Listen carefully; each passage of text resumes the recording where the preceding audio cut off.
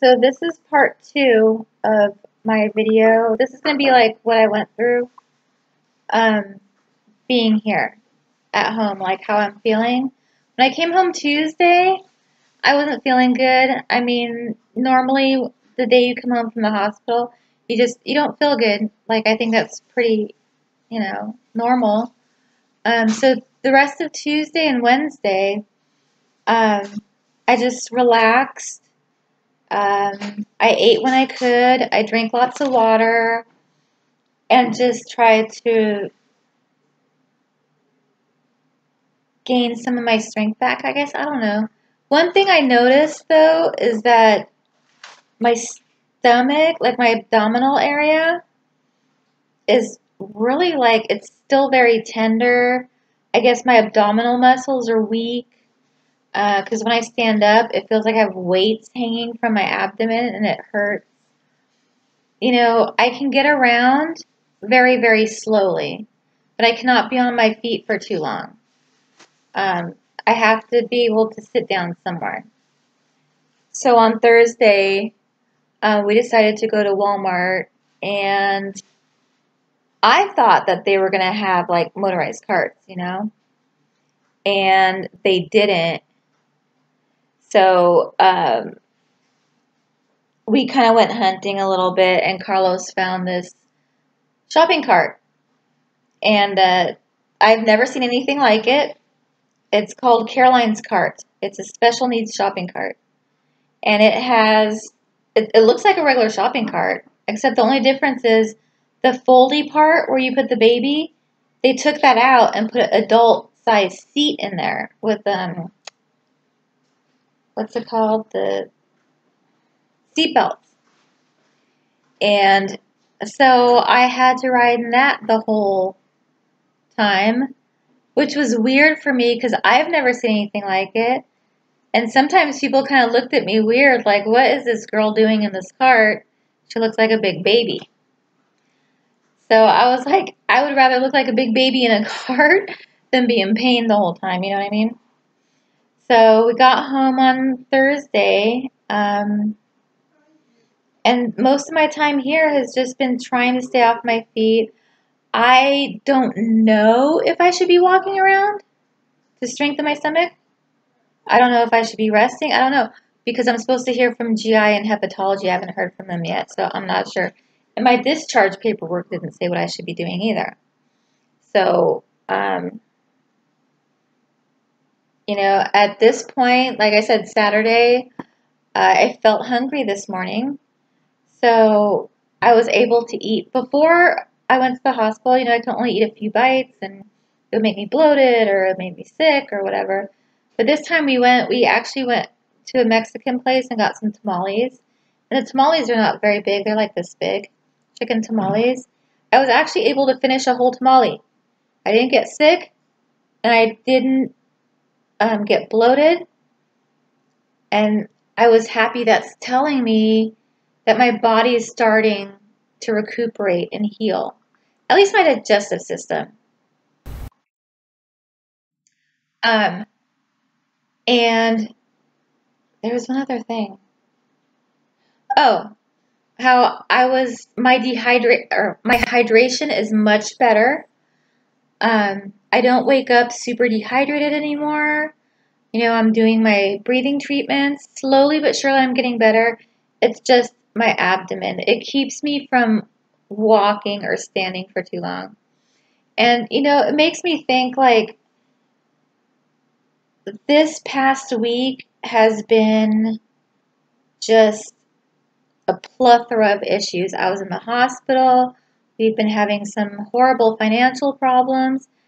And, you know, it's just when it rains, it pours. And it's pouring right now. If it's not one thing, it's another thing. And the thing that makes me feel bad is I'm just sitting here. I don't want to just sit here. I want to help. I want to do something. And that's why I'm so focused on getting my equipment because I want to help. I want to do something. You know, I want to help. I want to help family financially. Before, up until I met my husband, I was a single mom. I worked all the time. And I like working. I enjoy it. I don't like sitting here doing nothing. I like to work. You know, like I have these puzzle books, word puzzle books that have, you've seen these with all these puzzles. I did them in the hospital. I do them here at home because I need to keep my mind occupied and TV doesn't occupy my mind. I like working and I'm so excited about getting my equipment and working. Like, I'm dedicated, I'm motivated.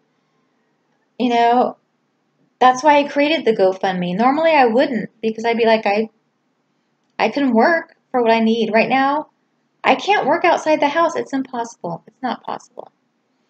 Um, so I have to work from inside the house. And being a stenographer is the most lucrative way I can think of to make money to support my family. Um, so again, that's why I created the GoFundMe. I just need a little leg up. I just need a little boost, you know? Just like, here you go, here's a little boost. Now go, you know?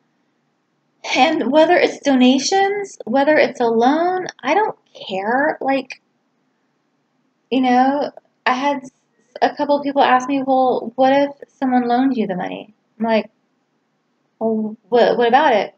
How soon could you pay it back? I'm like, well, there's two ways either stimulus or earnings, whichever comes first. You know? Whichever comes first, that's the way it's gonna. And is it gonna take a year? no, it won't even take six months to pay it back. I could pay it back in a few months with earnings. So, um, you know, I'm just at this point, I.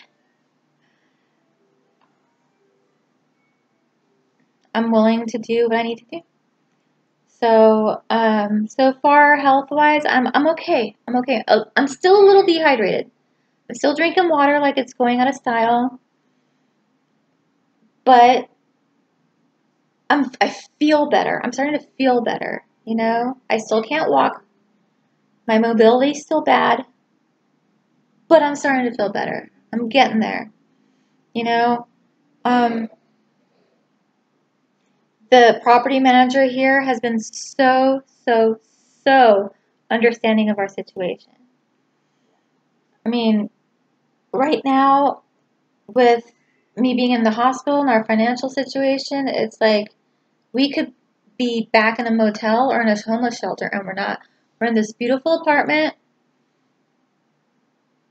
you know, with these amazing, with this amazing property manager, and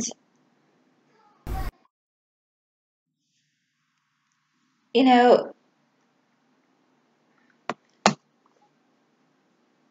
we're blessed in that sense. We're blessed to have a to still have a roof over our head, a bed to sleep in, and food. Um, so, you know, could things be better? Absolutely, 100%. Do we want things to be better? Absolutely, 100%. But we have to be grateful and blessed for what we have now because it could always be worse. Someone out there has it worse than we do. You know? We could be in a worse position than we are now, but we're not. We're in a great position, so to speak. You know? So just be grateful for what you have and be happy for what you have because it could always be worse. Someone always could have it worse. You know, is are things going to get better for us? Absolutely. It, it, it might take some time, but yeah. So, so that's it. That's what I've been through the last weekish. No, week. It's been a week. Um, my next video is going to be when I have another, I don't know. I haven't heard from GI. I haven't heard from hepatology. I don't know what's going to happen. But if there's any kind of update to what's going on, I will let you guys know. And um, I will post another video when that happens. So have a great weekend and have a great week and remember to always be grateful and feel blessed for what you have. See you in the next video.